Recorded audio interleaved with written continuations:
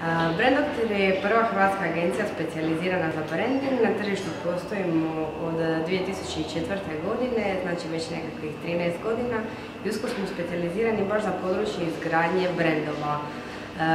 Puno ljudi misli da je branding logotip, da je branding oglašavanje, da je branding lijepi znak, međutim ono što je branding, branding je jedinstvena priča i branding je 100% emocija.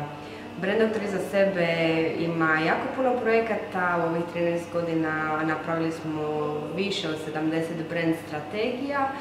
Nekad možda najpoznatijih ili najrecentnijih su uh, rebranding auto zubaka, Bio Bio, uh, One to Play, Krapinsko-Zagorska županija, Šećer Sladonija.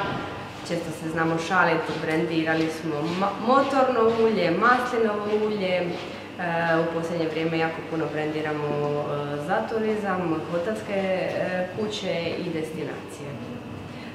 Isto tako, iza sebe imamo jako puno i uspjeha u ovih 13 godina. Jedno od najvećih stiglo je 2015. godine kada smo uvršteni među 25 najjačih brand konzultanata na svijetu prema izboru Rebrand Hall of Fame uz bok nekih od najvećih svjetskih branding agencija poput Interbranda, Future Branda, Lippincotta ili Brand Uniona.